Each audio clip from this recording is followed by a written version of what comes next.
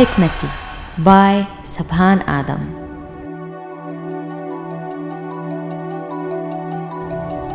It doesn't matter how you start.